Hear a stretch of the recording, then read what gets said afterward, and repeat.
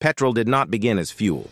It began as a byproduct, ignored, discarded, misunderstood. In the mid-1800s, the world was searching for light. Whale oil was running out, darkness was expensive.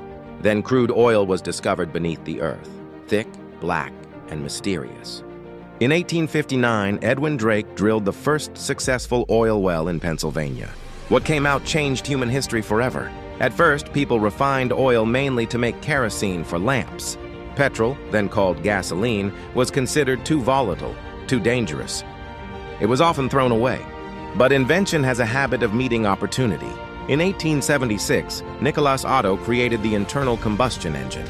Soon after, Carl Benz built the first petrol-powered automobile in 1885. Suddenly, petrol was no longer waste, it was power. Refiners learned how to separate crude oil into useful parts. Petrol became the lifeblood of engines, light, fast, explosive with energy. Cities expanded, distances shrank. Horses disappeared from streets, replaced by machines that ran on petrol. The 20th century roared to life.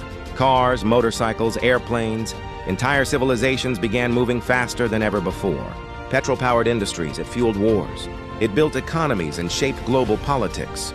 But with power came a price, pollution, climate change, dependence. Today, the world stands at another turning point. Alternatives are rising, electric, solar, hydrogen. Yet history cannot be denied. Petrol didn't just fuel engines, it fueled human ambition. From a discarded liquid to the force that moved the modern world, the invention of petrol is not just a discovery. It is the spark that set civilization in motion,